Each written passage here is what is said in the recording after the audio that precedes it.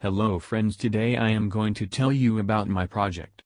In this video you will learn about our design of a power plant, utilizing the garbage. It also manages garbage, other than just producing power. It is kind of a waste management system.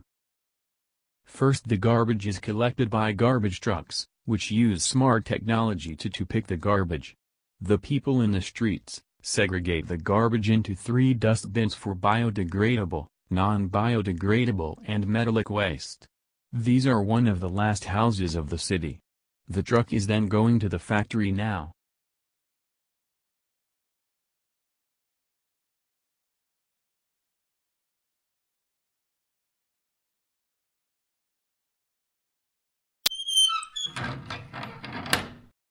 A we have entered the factory the truck would be checked and garbage will be processed in the factory.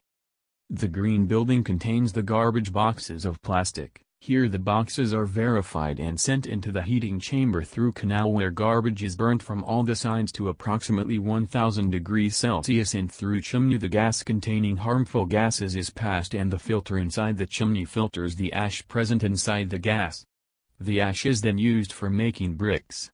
The residue gas left is only water vapor which is released in the atmosphere and it produces no harm to the environment, so this factory is also eco-friendly. The turbine rotates because of the hot gases, and thus produces energy. The energy is stored in the pupil building. The metal is simply melted in the metal factory to reuse it.